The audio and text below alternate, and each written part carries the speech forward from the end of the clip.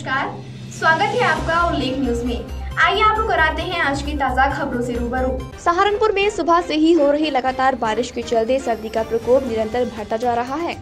बारिश के चलते जनजीवन भी बुरी तरह से प्रभावित हुआ है। विद्युतों की गत कई दिनों से सर्दी कपकपी छुड़ा रही है। सहारनपुर में भयंकर शीतलहर के बाद सुबह से ही बारिश शुरू हो गई। शाम को घना कोहरा छाने से अंधकार के हालात बन गए।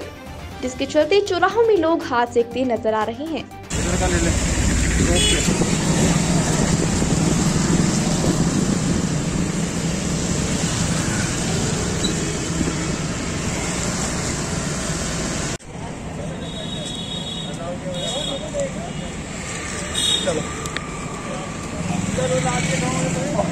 आप देख रहे हैं उल्लेख न्यूज़ हर खबर पर पैनी नज़र।